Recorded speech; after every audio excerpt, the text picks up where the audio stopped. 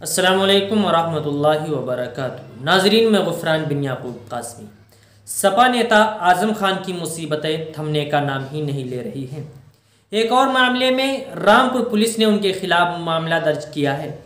ये कार्रवाई बीजेपी के नेता आकाश सक्सेना की शिकायत पर की गई है। इल्ज़ाम है कि आज़म खान ने रामपुर पब्लिक स्कूल की बिल्डिंग का फर्जी सर्टिफिकेट बनवाकर मान्यता प्राप्त की थी। कुछ दिन और करना होगा, बिल का इंतज़ार। बताया जा रहा है कि इस मामले में 19 मई को रामपुर कोर्ट में सुनवाई होनी है। ये आज़म खान के लिए बड़ा झटका इसलिए है क्योंकि इससे पहले तक उनके खिलाफ एक ही मामला दर्ज था।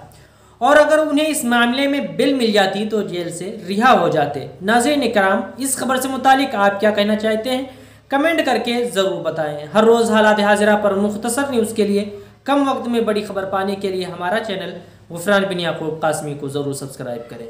जजाकल्ला असल वरहमल वर्का